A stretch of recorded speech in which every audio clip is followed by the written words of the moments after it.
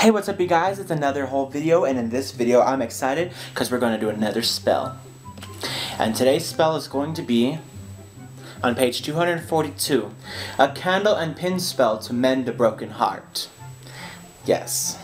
May not, may not look like I have one, but I still have one over my ex. So, and I've tried getting over it. I have. Um, there's just those little tiny broken bits left over, those little scratches and cuts. We need to fix those. So it's 100% a shiny, beautiful diamond once again. So it's late Saturday afternoon. It already is late afternoon, almost evening now. So we got to do this now. So I'm gonna need a small box of straight pins. The ones with the colored heads, these ones right here. A white beeswax candle or a very soft wax candle in which you can stick the pins in. And that's pretty much it. So let's start with taking out the sticker on the bottom. I don't know why it has that. That's, oh wait, is it supposed to stay on there? I'm so confused. I don't know how these candles work, so we're just gonna go ahead and leave that back on there. I think you're supposed to not take that off. Alright, so the first step is going to be using the pins, make a heart shape on the front of the candle, and in the center, draw an arrow in pins. Okay, so let's get started. Gonna take our little pin box. That's freaking terrifying. Um, I'm gonna go ahead and do a purple one. We're gonna draw with the purple one. We're gonna go ahead and carve out a um, heart with it. Alright, so that proved to be actually very difficult, surprisingly. Um, one boob is bigger than the other on the heart. Um, I don't know if you can tell because it's all the same color and my camera may not focus. But uh, one side's basically bigger than the other. Oh well, not everyone's heart is perfect anyway. Um, so there we go, just perfect it a little bit more, carve out a little bit more so you can actually see where the heart is at. We want a thicker heart. There we go. And that is that. So we made a heart shape on the front of the candle, and in the center we're going to draw an arrow in pins. So I think we're going to draw, so we're going to stick these into there, like that. And we're going to keep going in the shape of an arrow, like one of those cheesy old hearts with arrows sticking through them, because Cupid got him. Cupid got to him. So I keep sticking these through. I'm kind of scared. I'm like pushing too hard and they're to poke out to the other side and poke me. but uh, what's cool about this is I read up on these spells beforehand so I like figure out what they do and what they're about. And it's pretty cool. Like they kind of explain to you like, hey, it's for this situation and you think about it and you're like that makes sense. That would make me feel better. Kind of like when you have a bad thought. If you write that bad thought on paper and crumple it up and throw it away it won't come out into into the real world. It'll just be a bad thought that went away. And I, I need to start practicing that more and more at work, especially with people, customers, and stuff like that, because, ooh, I can't handle snobby people, but you know, what are you going to do? Gotta deal with it.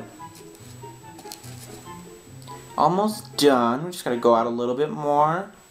And what's supposed to happen is you're supposed to light this and melt the candle. And all the pins are supposed to fall out of it as it melts down. So it's actually gonna, you're not gonna be able to see it until the aftermath of like it melted out. So it's gonna be a long while. Um, this is a very crooked arrow. But you know, I think I'm okay with that because love is crooked. It's a really weird thing. It's never correct itself anyway. Let's draw, let's put another one right there for a, point. That literally just stuck into my skin and I didn't even feel it. So an arrow. Can you see it a little bit? Alright. Kind of see it. It's like down and it goes like that. But uh, that's that. Next we're going to say, now we're going to say heartache, heartbreak, melts away that I may live and laugh and love again. Now we're going to light the candle.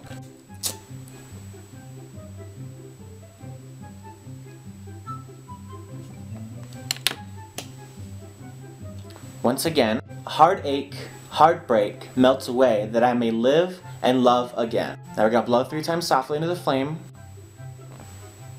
Candle burn, sorrow turn, turn away, burn away, that I may live and laugh and love again.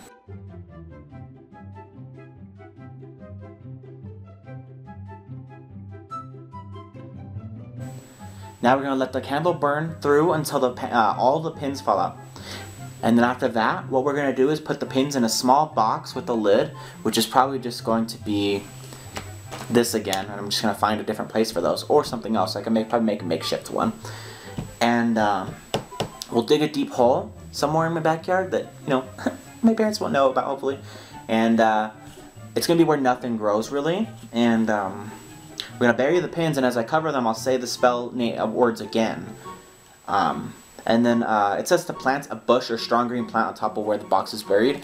I don't really have anything like that, but I will find something, okay? So we'll be right back when this melts all the way through. Okay guys, I wanted to update you real quick. The cat milk melted. I'm going to take this little box that I created. All the pins fell out. And interestingly enough, it didn't even burn all the way all the way through, but you know, they fell out because I put them about halfway. Um, I made this cute little box, this little makeshift. I'm gonna seal it up once I put these pins in there. All the pins started falling out one by one. Um, a lot of them fell out at the same time, but now they're stuck in this damn wax. Seal it up, and we're going to go ahead and tape this closed. Ahead and bury it with those little seeds. Go ahead and plant that over. Gonna put it a little pressure because it wouldn't crush, and now it does. Okay, there's that. Cover that up. And if something grows, something grows. If it doesn't, I'm not very good at planting. But that's the spell for today, you guys.